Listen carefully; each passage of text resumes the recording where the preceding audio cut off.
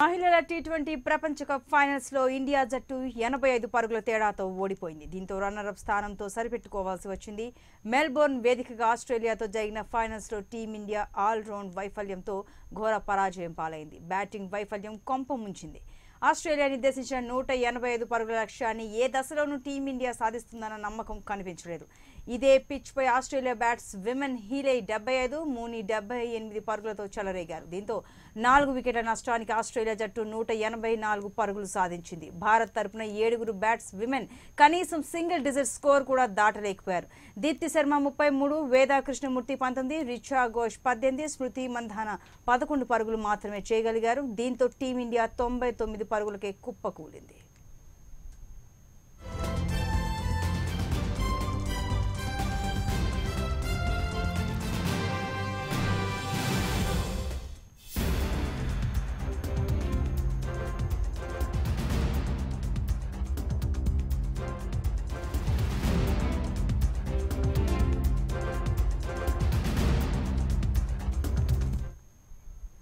మహిళల T twenty ప్రపంచ cup ఫైనల్స్లో ఇండియా జట్టు ఎనభై ఐదు పరుగుల తేడాతో ఓడిపోయింది. దీంతో రన్నరప్ స్థానంతో సరిపెట్టుకోవాల్సి వచ్చింది.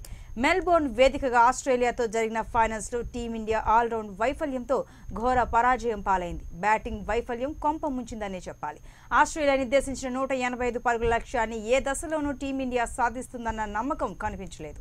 ఇదే పిచ్ పై ఆస్ట్రేలియా బ్యాట్స్ విమెన్ హీలే డెబ్బై ఐదు ముని డెబ్బై ఎనిమిది పరుగులతో చెలరేగారు. దీంతో నాలుగు వికెట్ల నష్టానికి ఆస్ట్రేలియా జట్టు నూట ఎనభై నాలుగు పరుగులు సాధించింది. భారత్ తరపున ఏడుగురు బ్యాట్స్ విమెన్ కనీసం సింగిల్ డిజిట్ స్కోర్ కూడా దాటలేకపోయారు. దీప్తి శర్మ ముప్పై మూడు వేదా కృష్ణమూర్తి పంతొమ్మిది రిచా ఘోష్ పద్దెనిమిది స్మృతి మంధాన పదకొండు పరుగులు మాత్రమే చేయగలిగారు. దీంతో టీమిండియా తొంభై తొమ్మిది పరుగులకే కుప్పకూలింది.